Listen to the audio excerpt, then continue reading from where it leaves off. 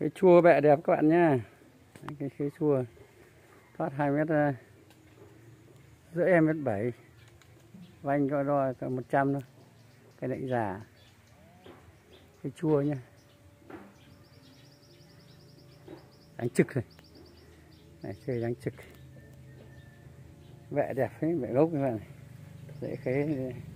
Lổi sẵn này già ấy.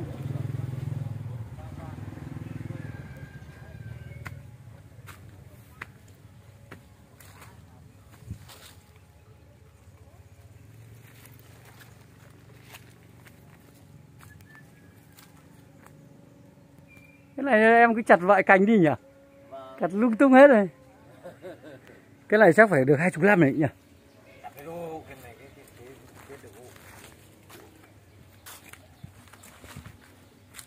Quanh năm.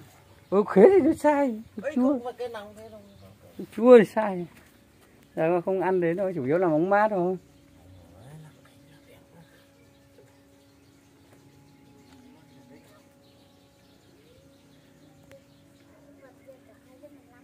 Cái vật đấy. Hỏng rồi, nó phải đến mùa hè rồi.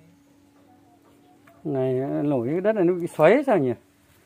Cái này nó bị xoáy đất hay sao nhỉ? Mình đào ra mình bới ra. Mình mình đào Đúng mình rồi, cái đường nước nó chảy. Rồi nó cứ chảy nó thành cái bệ. Vâng. em là, là làm cũng ở nhà thôi à? Vâng, em ở nhà. à. Rồi xem cái bưởi nhàng tường Để xem có mua được thì mua mấy cây nó tiện ờ, xe cẩu cũng thuê chuyến cẩu hết nhiều tiện lắm.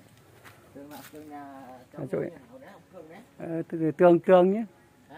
Chỗ nhàng tường có cái bưởi. Cái già phết đấy.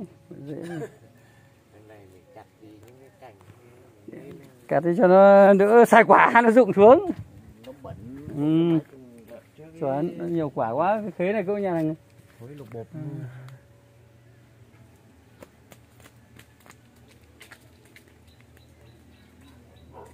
rất sai quả khế rất sai quả. Ừ, sai. Nhưng mà có cây nó không có quanh năm đâu đây này mùa Ôi, này bây giờ cái, cái đường bé này xe cẩu vào được nhỉ? Hả? cái đường này Cái xe đường- ô tô vẫn đi được cái gì? đường này xe chú long đi được Chú long tấn dưới hai tấn dưới hai tấn nó vẫn vào mà. Hai mét hai này mà.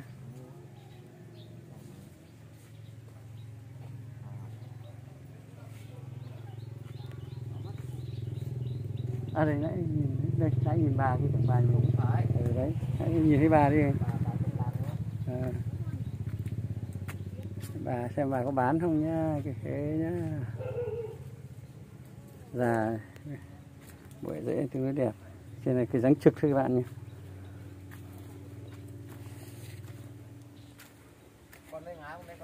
Theo ngã đấy. Vành 100 thoát hai mét rưỡi. Tại dáng trực tròn cực kỳ sai quả nhé Đấy, em nó phải ý kiến bà nhá được rồi. Chia sẻ cây khế.